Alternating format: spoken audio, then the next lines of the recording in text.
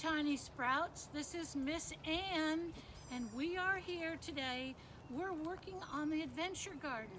So when this is all over this summer, you can come and you can see it. And we're going to have vegetables in this garden, and we're going to have, this is going to be a pollinator garden, so it really attracts all the bees and butterflies that we need to pollinate our vegetables. So here we are working hard and I hope you're being really good at home. And uh, next week, I'm actually going to read a book um, and tape it and put it up on Facebook or, or give you a YouTube link so we can keep doing our gardening even though we can't be together right now. Okay, bye for now.